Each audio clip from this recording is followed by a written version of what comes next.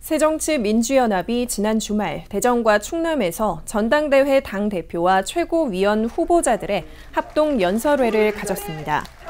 문재인 후보는 총선 승리론을 통한 이기는 정당을 강조하며 다른 후보들의 공세를 차단했으며 박지원 후보는 강한 야당, 통합대표를 내세우며 표심 잡기에 나섰습니다. 이인영 후보는 세대 교체를 통한 정당 혁명과 혁신을 부각시키는 데 주력했습니다. 최고위원 선거에 나선 유승희, 문병호, 전병헌 후보 등도 연설에서 저마다의 강점을 드러내며 지지를 호소했습니다.